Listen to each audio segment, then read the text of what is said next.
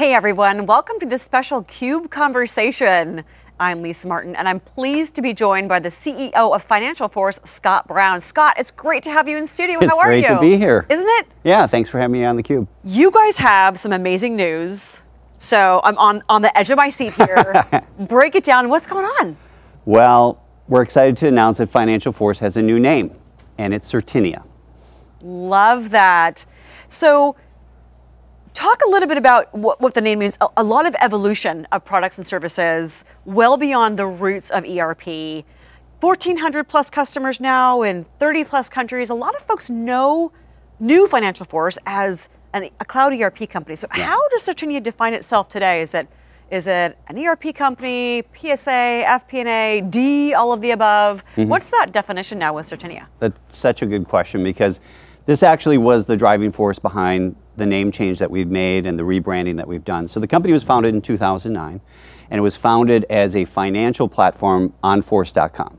So FinancialForce was the perfect name, right? Just ideal for what we were back then.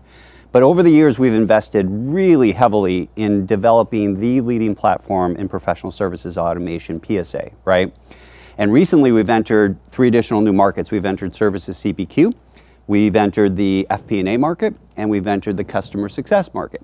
So now we have this platform for services businesses, and it's amazing, right? But the company that we were when we actually founded and came up with FinancialForce Today, less than a third of our revenue is in financials. We're really a platform today for services businesses. So Certinia is really the beginning of both rebranding for who we are today, but also opening the aperture for the company we want to be in the future. So natural evolution as the company's evolved since 2009. Yeah. The name Certinia, Talk a little bit about what that means. The roots are with certainty, which we all need these days. But give us a little bit of a, a backstory on the decisioning behind the name. Yeah. So rebranding is a big effort, as you and I were chatting about. And at its core, what we wanted to look at is what is it that our customers look for us to provide with our technology and solutions every day? And more than anything, it's certainty, right? Our systems allow companies, multi billion dollar companies with tens of thousands of consultants, to run their business. They have to know that system of record works flawlessly. They have to know they can deliver great customer experiences for their customers. They have to predict revenue and margin, and all these things have to have great levels of certainty. So when we looked at rebranding the company, Certinia was the perfect name because it really spoke to what our customers look for when they use our solutions.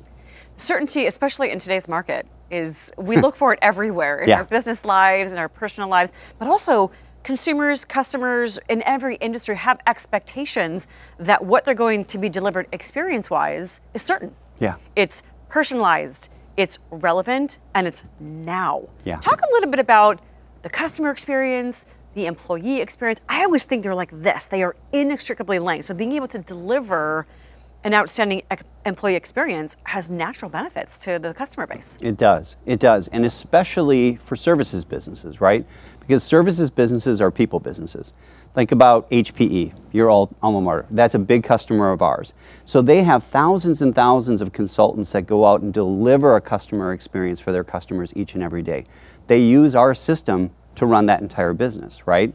They want to deliver an incredible experience for their customers so they can utilize that technology to benefit the experience that they have at their end user level. So when you think about it, those employees, we, we have to think about them as people, not products, right? Absolutely. A, a lot of the solutions that are built in the IT world were built in the old 30 year ago MRP, ERP. The center of the universe was a product or a PID. The center of our universe is a person. And people have skills, they have career aspirations, they have desires of what they want to do professionally, they have availability. All those things together represent that employee experience that you were talking about. And if we can get it right for them, then they can create a great customer experience out in the marketplace for their customers, just like HPE does with our solution every day. Right, which these days is table stakes. Mm-hmm. It's like we always say access to real time data is no longer nice to have. It's absolutely essential for every industry because we as people, expect a, a, great experience that's going to deliver exactly what I'm looking for. I want you to know me in a non creepy way, but also in terms of like businesses being able to be successful and survive long term. That employee experience has to be able to deliver because employees need to be, they need to be enabled. They need to have data at their fingertips to help make the right decisions. Right. So that the customers then really feel valued Yeah. and trust Yeah. a company like Certinia. Yeah. And at the end of the day, managing services businesses, it's complex. It's hard to do, right? We have customers like Siemens, we have people, you know, Avalara, like Elastic. They're all trying to deliver a great experience in implementing their technology and their customers. The services that they surround this with, extremely difficult to deliver. And to do it in a profitable way, a predictable way, to have a great experience for their end user customers, it's hard, right? So technology like ours that's purpose built around people and helping them to deliver those projects for their customers, it's just it's critical, right, to their success. I like that it's people centric. I think oftentimes we can lose sight of that. And Mm-hmm. we think of machines, especially with what's going on with AI and generative Yeah. AI right now that's taking Yeah. over the world. It's really important to enable the people to be able to help facilitate those experiences. Give me uh, some examples that you mentioned, you know, running a services business is challenging, whether that is a big company like an HPE that has services businesses within it, or a company that is all services. Talk about some of the things that they come to Certinia looking to help eliminate on the challenges side and what it is that you're able to help them just erase from their challenges. Yeah, most of these folks they they kind of grow organically or over time with custom systems and spreadsheets, and they manage to put it all together, but it's not an efficient way to you know resource manage the thousands of resources that you might have. So they usually reach a point where they say, I can't continue to do business the way I have before. My resource utilization is low, my margin is low, my project delivery is off, my customer NPS is low anytime you have those kind of factors, then they come to us and they say, Can you help us to deliver those outcomes? We want better profitability, better resource utilization, better project management, and ultimately, as we talked about, a better experience of the customer. So they kind of hit a point where they break, right? And that's when they generally come to us and say, We need a world class professional services automation system to manage this very complex environment well. And who is who's coming to Certinia in terms of the, the personas? Is this at the C level in terms of, I mean, you talked about outcomes, and it's really all about enabling business outcomes, you know, from from opportunity to renewal and everything in between. Who is it that comes to you most? Who, where are the majority of your customer conversations these days? Yeah. You know, I would say in the past they were more on the technical side of the business. Today, it's completely with the business decision makers. In fact, it's almost always driven by the CEO, COO, Chief Revenue Officer, Chief Customer Officer. Those are the folks that we're talking to all the time. And they're looking at and saying, for us to deliver, we actually need to create great digital transformation in this particular area. A lot of them have already invested in CRM and ERP and some of these supporting areas. They've done nothing around the services area. This is one of the most untouched, unvended parts of the IT stack. Services is sort of the unloved child. You know, they just don't get the investment and help that they need. People are waking up to that and realizing there's a huge opportunity to improve the performance of the business as well as the experience for the customer. So it's a C level conversation today across the board. But services also can drive a lot of commerce, a lot of a lot of that for every type of company. So Yeah. is that why you're seeing it raise up to this is no longer a technical discussion. This is a business imperative. Right. You know, if you look at companies that are out there like HPE, like Siemens, et cetera, you think, oh, they provide software, they provide servers, they provide all these different products. But how do they get them in the hands of their customer and make them successful? It's services, right? And increasingly, if you look at it, the amount of growth in each of these businesses that's happening in services is way in excess of what's happening in product. So it's becoming a bigger and bigger part of their business, and the imperative of delivering that well has become even more important to them, you know, as time has gone on. Speaking of delivering it well, you talked about the evolution of the company back in 2009, the expertise that you've had in cloud ERP that's extending, the expertise in, in PSA and Yeah. FP&A. What's the new value prop or the competitive differentiator of Certinia that you're going to be articulating to your customer base? Well, for our customers, basically, everything from opportunity to renewal, we have now automated and made digital. And for most folks, they had a lot of issues along the way where they were trying to go to different systems and then they had to stitch them together and make them work together. Our system is built natively on Salesforce. So let's say you're a Salesforce you know, shop, which many people are. Well, guess what? When you implement our system, there's one customer master, one inventory master, one user persona. Everything that's there is connected in real time, all working on force.com, right? So from the minute I have a customer interaction I start to quote, all the way through the delivery process, all the way to serving them from a customer success standpoint, and ultimately renewing them, we can do everything, right? And in, do it in real time. So if you're invested in Salesforce, be it Sales Cloud, be it Service Cloud, et cetera, this will all work together seamlessly in real time, and they never have to be an integrator. Today, the problem they have to is I've got four, five, six, seven systems, and they're all API, and, and I've got 12 customer masters and 10 inventory masters. It's a mess. We come in and we say, here's one end to end process that works together. We'll automate all that for you, and you never have to be the integrator. So, on the automation front, professional services automation has been challenging for a lot of organizations for, for a long time no now. question. Is it is it a cultural shift that you're also seeing in terms of we talked about this conversation really elevating to the C-suite and why, but I also imagine that especially history businesses that have been around for a while. Mm-hmm. Have to really get their teams on board, and the culture of the organization needs to shift to be able to realize the benefits of automation. How does Certinia help on that cultural shift front? I imagine you do. Yeah, yeah, we do. In fact, the biggest single competitor that we have is no decision because we don't have the will to change the culture and to change the core systems by which we run the business. It isn't other competitive systems that are out there in the marketplace. It really comes down to a conversation about do you have the will to change this very complex organization? I'll give you another example Philips, right? So, Philips, they took their entire business and pivoted it to healthcare. And along the way, they said the only way we can deliver these healthcare machines and capabilities is to surround them with services.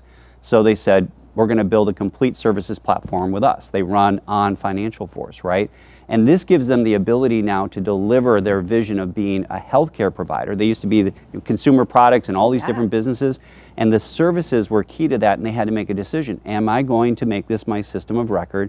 Am I going to drive a cultural change inside Philips that says, you know, that healthcare experience is going to be surrounded with services, and we're going to power that experience for the customer? So you're absolutely spot on that the issue is a cultural issue and the issue is a will to change your system of record that supports that. And both, that's the most difficult C suite conversation. It's not the technology conversation, it's that piece. It really is, and it's it doesn't change overnight. No. A lot, of, a lot of the one constant is change, right? We know that. That's a statement we can use in any aspect of life. But yeah. people get really comfortable with certain things. But businesses, like we were talking about earlier, in every industry, can't afford to sit back and wait. Yeah. To your point about a lot of, so, you know, whether it's businesses that do a lot of M&A that don't do a good enough job at actual integration or shadow IT, mm-hmm. buying different pieces of software and data is in different pockets, not really being able to come together to drive the outcomes, the improved revenue, the outcomes that organizations need. It's there's there's no time to wait anymore. Yeah. And if you're in a services business, how do you grow? The only way you grow is by adding people right? So I was telling you I was just down in Australia, right? I met with a customer there, CyberCX. Three years ago, they were at zero people. Today, they have 4,500 consultants. They're the leading wow. cybersecurity consulting firm in Australia. They run our system end to end.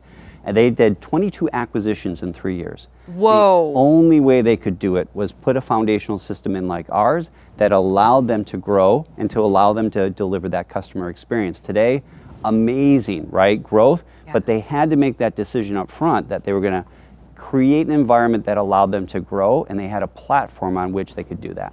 Well, you know, we often hear the term, and I was telling you uh, before we went live, I'm a marketer, and so future ready. Future ready is a term that everybody uses, and they always ask, well, what does that actually mean? Mm-hmm. Because I think it can mean different things to different people. How does it become a reality? But it sounds like what you were talking about with the Australia customers, they went through massive transformation, massive M&A, but they had a platform that flexed. Yeah. Probably an intelligent platform that was flexible enough and agile to be to give them the foundation to do that. Yeah.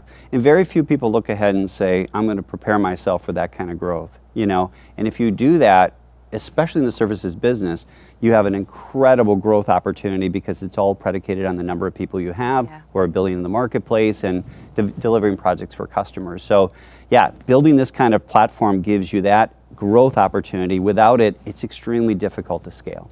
Wow, this sounds so exciting. I imagine you're thrilled. But last question for you What are some of the things that you and the team are probably most excited about? This is way more than a name change. Yeah. What excites you about what you're announcing today and the trajectory that you're on? Yeah. Well, I kind of feel like we're just getting started. You know, I was actually a customer for many, many more years than I've been CEO. Right? I've been CEO the last two and a half years. I was a customer at Teradata and I was a customer at Cisco, and I saw the power of this platform for our services businesses there. That's why I was so excited to be Yeah. a part of this team. The opportunities for us are amazing in terms of the things that we can do for our customers. We're just getting started. So, yeah, we are in five different markets. Yeah, we can do everything, you know, opportunity renewal. Watch out in the future. We have a lot of great new stuff coming. We will be watching for sure. What's the new URL going to be? It's going to be certinia.com. All right, excellent. Scott, thank you so much for coming on theCUBE, sharing this breaking news. I cannot wait to watch. It sounds like tremendous momentum potential and really congratulations on the evolution of the business. Uh, like you said, early innings, but we appreciate you coming here to break the news. Thank well, you. it's great to be on theCUBE. Thank you, Lisa. All right. You heard it here on theCUBE. Financial Forces now Certinia. Certinia.com is the new URL. Check it out. Scott articulated, as you heard, some amazing customer stories. Check out the website. We so appreciate you watching. For Scott Brown, I'm Lisa Martin. You're watching a special CUBE conversation.